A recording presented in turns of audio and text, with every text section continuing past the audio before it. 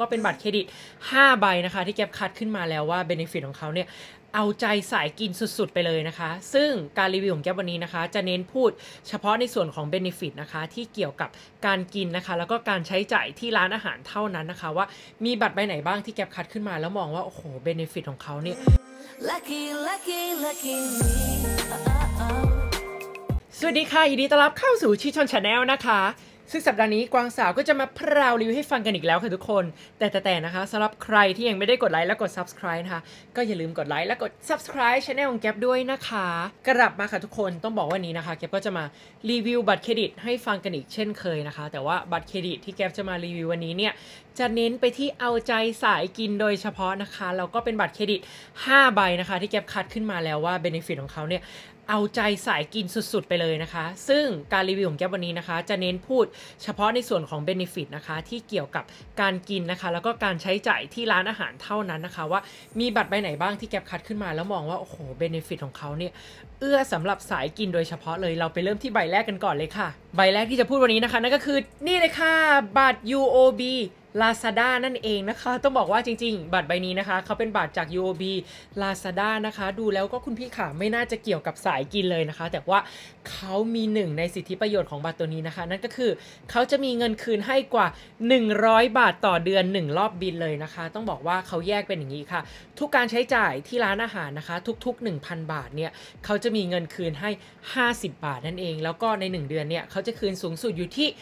100 บาท หรือว่าถ้าเทียบนะคะก็คือเดือนหนึ่งเนี่ยเรากินร้านอาหารนะคะบินหนึ่ง1,000บาทได้คืน 50 กิน 2 ครั้งก็ได้คืนเป็น 100 บาท หรือว่ากิน 2,000 บาทต่อเดือนได้คืน 100 บาทนั่นเองซึ่งเงินคืนของบัตรใบนี้นะคะ เขาจะกลับคืนมาให้ในบัตรนะคะ ก็ประมาณภายใน 60 วันนะคะ ทุกคนแล้วก็บัตรใบนี้เขามีค่าธรรมเนียมนะคะ อยู่ที่ 2,000 บาทต่อปี แต่ถ้าปีหนึ่งเนี่ยเราใช้จ่ายผ่านบัตรตัวนี้นะคะ เกิน 60,000 บาทขึ้นไปก็ฟรีค่าธรรมเนียมไปเลยค่ะ มาที่บัตรใบที่ 2 นะคะ นั่นก็คือนี่เลยค่ะ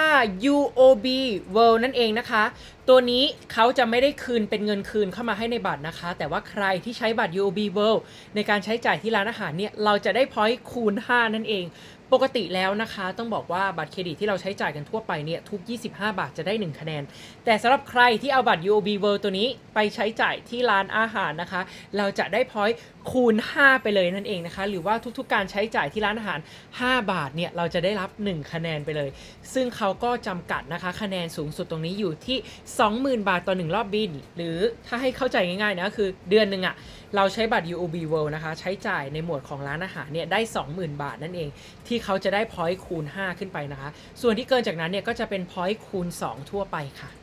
บัตร UOB World ตัวนี้นะคะ หากใช้จ่ายปีหนึ่งเกิน 100,000 บาทขึ้นไปก็ฟรีไปเลยค่ะ ค่าธรรมเนียม แต่ถ้าใช้จ่ายไม่ถึงเขามีค่าธรรมเนียมนะคะอยู่ที่ 3,800 บาท ซึ่งเธอจากประสบการณ์ส่วนตัวของฉันนะ ส่วนใหญ่บัตรเครดิตจาก UOB อะ ถ้าเรามียอดใช้อยู่บ้างเนี่ยเราสามารถโทรขอยกเว้นค่าธรรมเนียมได้นะ ก็ลองโทรดูกับ call center นะคะ เป็น case by case ไป มาที่บัตรใบที่ 3 นะคะ นั่นก็คือ นี่เลยค่ะ บัตรการ์ด X Ultra Platinum นั่นเองนะคะ ต้องบอกว่าตัวนี้เป็นหนึ่งในบัตรที่ออกมานานมากๆแล้วนะคะ สมัยก่อนเนี่ยเขาคือ SCB Ultra Platinum นะคะ ตอนนี้เขาเปลี่ยนมาเป็น Card X Ultra Platinum แล้วนะคะทุกคน ตัวนี้เป็นหนึ่งในบัตรเลยที่มี Benefit นะคะ เกี่ยวกับร้านอาหารนะคะ ก็คือ point ของเขาจะคูณ 5 นั่นเองนะคะ คล้ายๆ กับเจ้าตัว UOB World เมื่อสักครู่ แต่ว่าตัวนี้นะคะเขาจะกำหนดมาที่การใช้จ่าย 30,000 บาทต่อ 1 รอบบินนะคะ ที่เราจะได้คะแนนคูณ 5 ถ้าเทียบกับ UOB ตะกี้เนี่ยเขาให้ 20,000 บาทต่อ 1 รอบบินใช่ไหมคะ แต่สำหรับการเองเนี่ยเขาจะให้มาที่ 30,000 บาทต่อ 1 รอบบินค่ะ เรียกว่าถ้าบัตรใบนี้ไปใช้จ่ายในร้านอาหารนะคะ ก็คะแนนคูณ 5 ไปเลยบัตรใบนี้ฟรีค่าธรรมเนียมนะคะ ถ้ามียอดใช้จ่าย 1 0 0 0 0แบาทต่อปี แต่ถ้าเราใช้ไม่ถึงนะคะ เขามีค่าธรรมเนียมอยู่ที่ 5,000 บาทนั่นเองค่ะ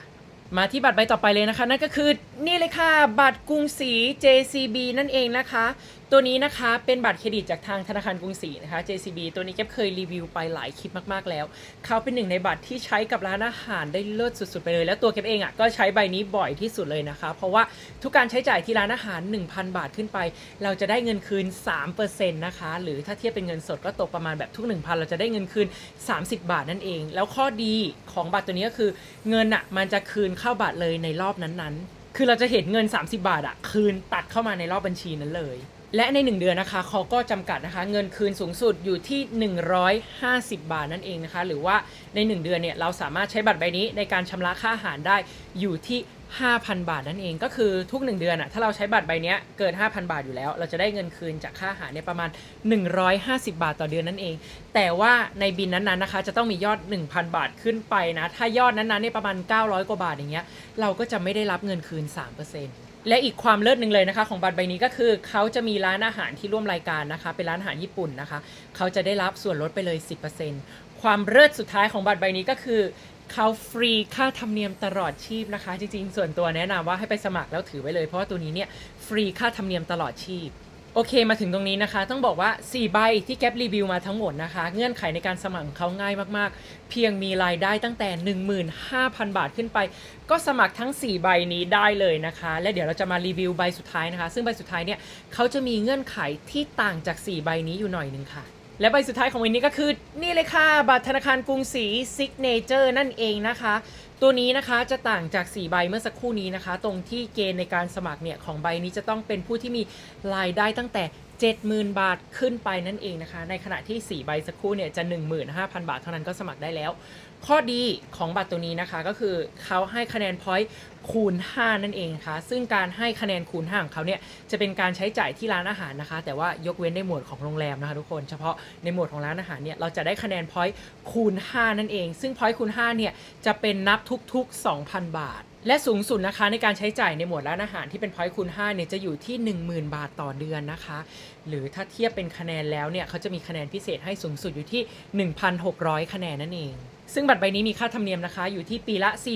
4,280 บาท แต่ถ้าเราใช้จ่ายพันบัตรปีหนึ่งเกิน 3 0 0แสนขึ้นไปก็ฟรีไปเลยค่ะค่าธรรมเนียมสำหรับส่วนตัวของแก๊ปเองนะคะ ใบที่แก๊ปเลือกใช้บ่อยที่สุดเลยนะก็คือ ตัวนี้ค่ะ หยิบติดมือตลอดนะคะ เอาไปใช้หลายทีบ่อยที่สุดแล้วก็คือเจ้าตัวกรุงศรี JCB นั่นเอง ที่แก๊ปชอบใบนี้ที่สุดเลย แล้วใช้เขาบ่อยที่สุดเลยหนึ่งเลยนะคะคือเวลาเราเอาเขาไปรูดเกิน 1,000 บาทขึ้นไปอะเราจะได้เงินคืน 30 บาทเลยนะคะ ในรอบบินนั้น 2 ก็คือเขาฟรีค่าธรรมเนียมตลอดชีพนั่นเองค่ะเป็นหนึ่งในใบที่แบบพกแล้วสบายใจที่สุดละ อันดับ 2 ที่ฉันจะหยิบขึ้นมาใช้นะคะ นั่นก็คือนี่เลยค่ะ เจ้าตัว UOB Lazada นะคะ สาเหตุที่แก๊ปชอบหยิบตัวนี้ขึ้นมาใช้เนี่ย เป็นเพราะว่าเขาจะได้เงินคืนเลย 50 บาทนะคะ ถ้าไปเทียบกับเจ้าตัวกรุงศรี JCB ตัวนี้นะคะ เขาคืนให้ 30 บาททุก 1,000 ใช่ไหมคะ แต่ว่าตัวนี้เนี่ยเขาจะคืนให้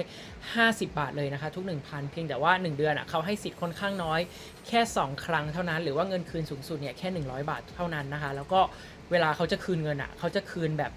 ภายใน 60 วันเขาไม่ได้คืนทันทีในรอบบินนั้น ดังนั้นใบนี้ก็จะเป็นใบอันดับ2นะคะที่ฉันจะหยิบมาใช้อันดับ 1 ก็ยังต้องเป็นตัวกรุงศรี JCB อยู่นะคะ ส่วนอันดับ 3 นะคะ ที่ฉันจะหยิบขึ้นมาใช้สลับกันก็คือ 2 ใบนี้นะคะ ก็จะเป็นตัว Card X Ultra Platinum นะคะ กับตัว UOB World นะคะ 2 ตัวนี้เป็น 2 ตัวที่ฉันจะหยิบมาใช้อันดับ 3 นะคะสำหรับร้านอาหาร แต่ว่าต้องพูดอย่างนี้เงื่อนไขในการใช้ต่างกัน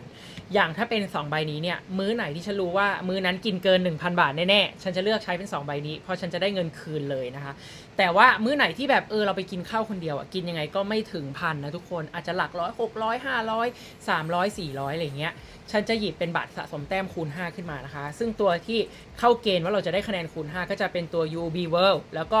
Card X Ultra Platinum นะคะ2ใบนี้จะเป็น 2 ใบที่แก๊ปสลับกันเอาขึ้นมาใช้นะคะ อยู่ที่ว่าวันนั้นเนี่ยเราหยิบใบไหนติดมือออกมา เพราะว่าถ้าเรากินไม่ถึงพันอยู่แล้วอะการหยิบ 2 ใบนี้ขึ้นมาเราก็จะได้ point คูณ 5 ไปนั่นเอง และสำหรับใครนะคะที่ชอบคอนเทนต์แบบนี้นะคะ ต้องบอกว่าช่องของแก๊ปเนี่ยก็มีทิ้งลิงก์ในการสมัครบัตรเครดิตไว้ให้ที่ใต้ description ด้วยนะคะ สามารถกดสมัครบัตรเครดิตที่ลิงก์ของแก๊ปได้นะคะ เพื่อเป็นการสนับสนุนช่องด้วยนะคะ ทุกคนแล้ววันนี้เพื่อนๆคิดเห็นว่ายังไงบ้าง อยากสมัครใบไหนก็อย่าลืมมาแชร์แก๊ปฟังที่ใต้คอมเมนต์นะคะ วันนี้ไปก่อนแล้วนะคะ ทุกคนบ๊ายบาย ทุกคนค่ะอย่าลืมกดไลค์แล้วก็กด Subscribe Channel ของแก๊ปด้วยนะคะ และตอนนี้ช่องของเรามีใน TikTok แล้วนะคะทุกคนสแกนเพื่อติดตามกันได้นะ